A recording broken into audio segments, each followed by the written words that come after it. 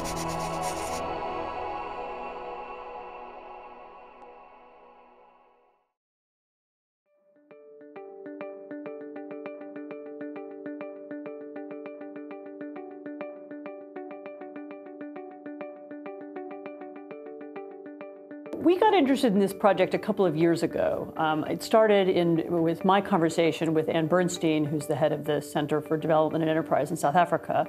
Um, and it was a conversation about the successes of three democracies Brazil, India, and South Africa. Um, I work quite a lot on countries that aren't so successful or that haven't made a transition to democracy. And I, I know that in countries like countries like that are all, always searching for models, for role models, not, not blueprints, but just new ideas, ways to go. By taking three think tanks from India, Brazil, and South Africa who have lived through the process of constructing and building a democratic market economy, what we're getting is authentic voices.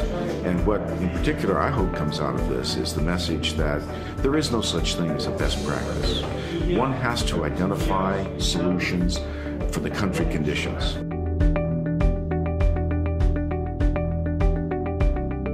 There's a, a, a global contest taking place between an authoritarian approach to growth and development and a democratic one. And this has got increased traction in many parts of the developing world because of the success of China and what it's delivered over the last 30 years, but also because of the perceived relative decline of Western democratic capitalism. And I think that gives increased traction to this debate in the developing world today. There is a big challenge towards democracy because countries which have been able to develop and to grow in a, in a democratic uh, environment uh, are now facing difficulties.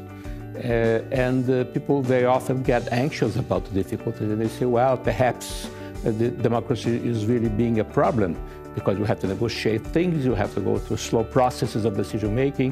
So they, some people get uh, more or less fascinated by the idea, which I think is a wrong idea, that if you have an authoritarian regime, things could be done in a, in more efficiently.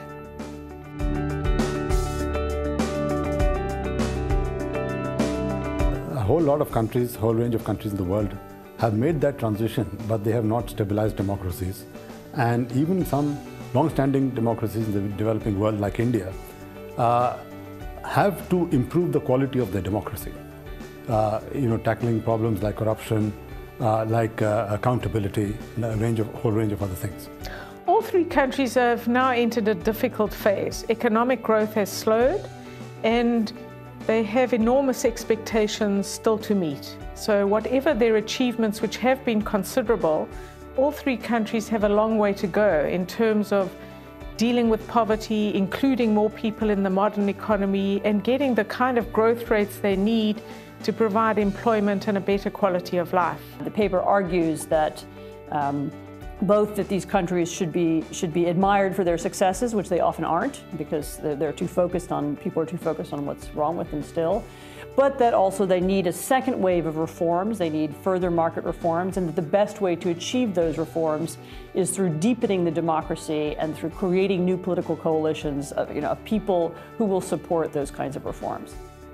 And actually, if you look at these countries, they're, do, they're producing some great policy initiatives which the West could really learn from. I would point to um, conditional cash transfers, making welfare conditional on certain uh, good behaviors, which they have in Brazil. But there are all sorts of examples from medical innovation to, to, to welfare innovation to innovation in the way that you deliver state services. So the West no longer has a monopoly. We need, really need to look at and listen to what's going on in the South.